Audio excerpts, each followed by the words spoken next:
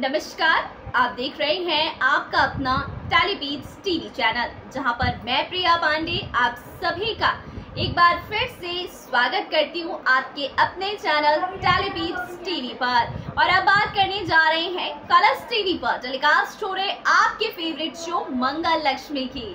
जी हाँ क्योंकि सीरियल मंगल लक्ष्मी की कहानी में ना आदित्य और सौम्या की ज़िंदगी में नया तूफ़ान आने वाला है।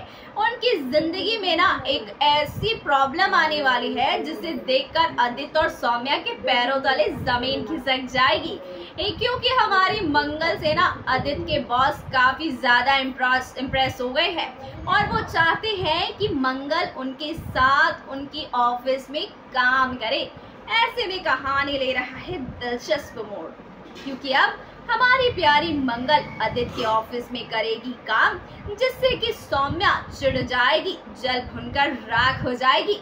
लेकिन आदित्य को होने लगेगा और भी ज़्यादा परेशानी, क्योंकि वो नहीं चाहता कि मंगल जैसी गवार लड़की उसकी कंपनी में काम करे और बॉस उसकी तारीफ़ करे। और यहाँ पर तो आदित्य उसकी बहुत ज़्यादा बेजती करता है। लेकिन जो कुसुम है ना, यानी कि मंगल की सासू माँ जी वो जो है ना, मंगल की कामयाबी में उसे बढ़ता हुआ देखना चाहती है और वो बहुत ही ज़्यादा खुश है।